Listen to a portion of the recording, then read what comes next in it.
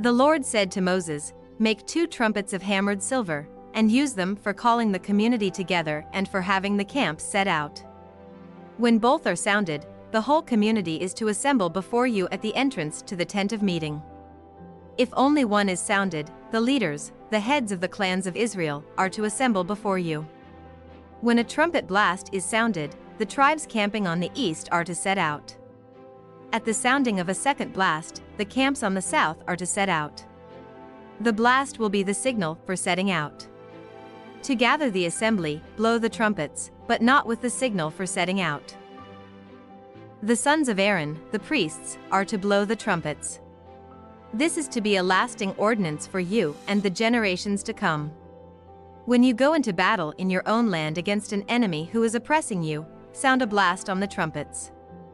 Then you will be remembered by the Lord your God and rescued from your enemies. Also at your times of rejoicing, your appointed festivals and new moon feasts, you are to sound the trumpets over your burnt offerings and fellowship offerings, and they will be a memorial for you before your God. I am the Lord your God.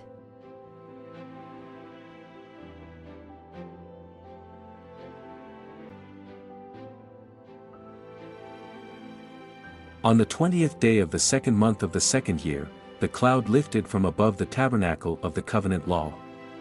Then the Israelites set out from the desert of Sinai and traveled from place to place until the cloud came to rest in the desert of Paran. They set out, this first time, at the Lord's command through Moses. The divisions of the camp of Judah went first, under their standard. Nahshon son of Amminadab was in command. Nethanel son of Zuar was over the division of the tribe of Issachar, and Eliab son of Helon was over the division of the tribe of Zebulun. Then the tabernacle was taken down, and the Gershonites and Merarites, who carried it, set out. The divisions of the camp of Reuben went next, under their standard. Elizur son of Shedeur was in command. Shelumiel son of Zurishaddai was over the division of the tribe of Simeon, and Eliasaph son of Deuel was over the division of the tribe of Gad. Then the Kohathites set out, carrying the holy things. The tabernacle was to be set up before they arrived.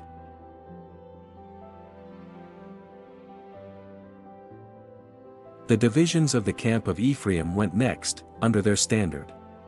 Elishama son of Ammihud was in command. Gamaliel son of Pedahzur was over the division of the tribe of Manasseh, and Abidan son of Gideoni was over the division of the tribe of Benjamin. Finally, as the rear guard for all the units, the divisions of the camp of Dan set out under their standard. Ahiezer son of Ammishaddai was in command.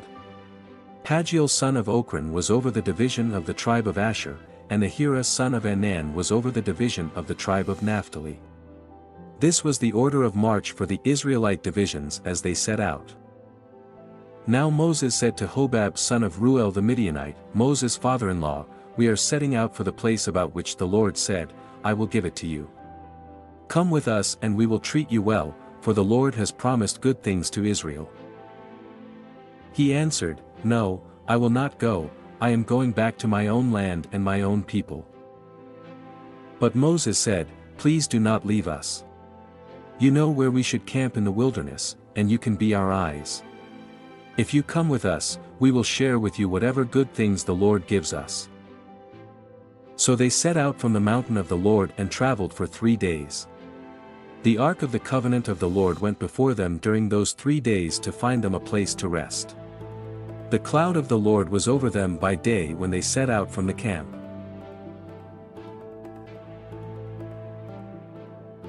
Whenever the ark set out, Moses said, Rise up, Lord, May your enemies be scattered, may your foes flee before you. Whenever it came to rest, he said, Return, Lord, to the countless thousands of Israel.